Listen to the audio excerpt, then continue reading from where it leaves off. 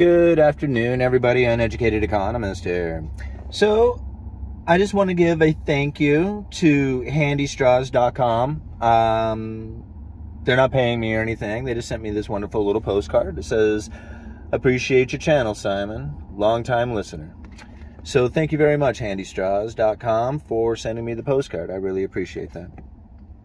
Um, wanted to leave a link down in the description for you guys to an article talking about what a lot of foreign central banks are doing with their dollars right now because something interesting has taken place as the dollar reserve currency and issues that are having that they are having with the dollar strengthening against their currencies has led them to start using their dollar holdings to buy their currency to try and add some strength to their currency to keep them from devaluing any further from the dollar.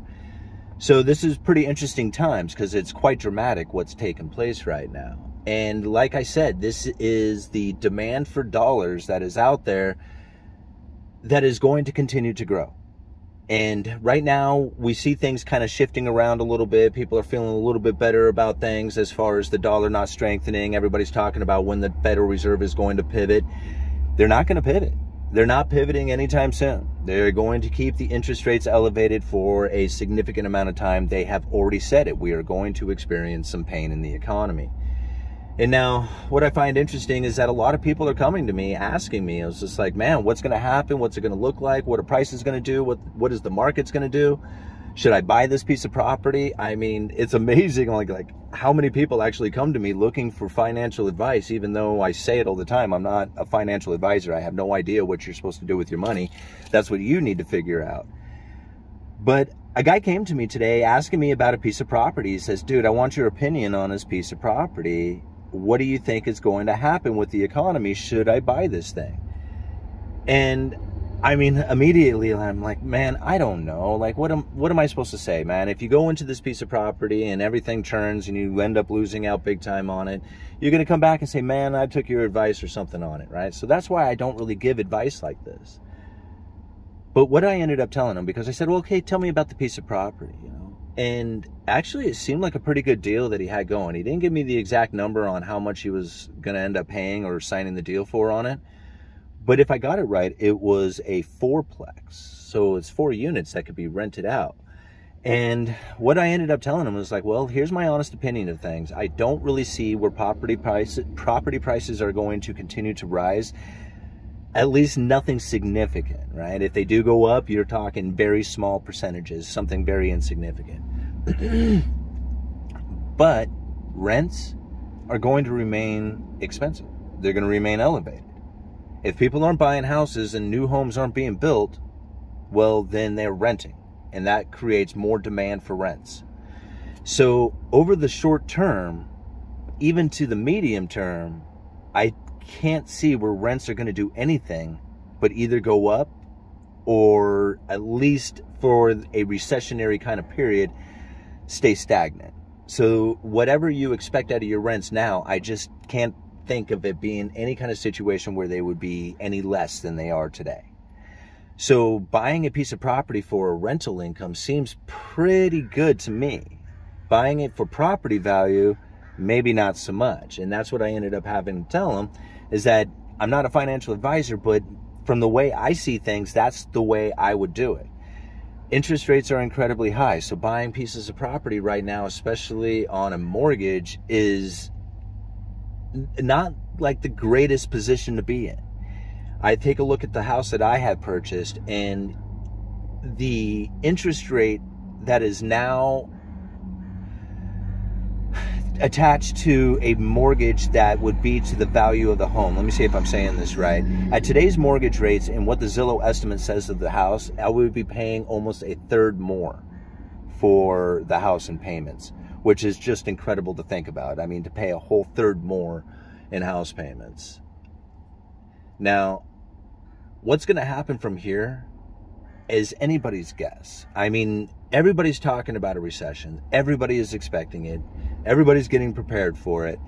And the more I think about it, it's just like the more somebody prepares for a recession, the less likely it's going to happen. Now, I do believe we are going to feel some significant pain But it really makes me wonder what that pain is going to feel like because generally during a recession, most of the time people are feeling the worst of it because they've lost their job.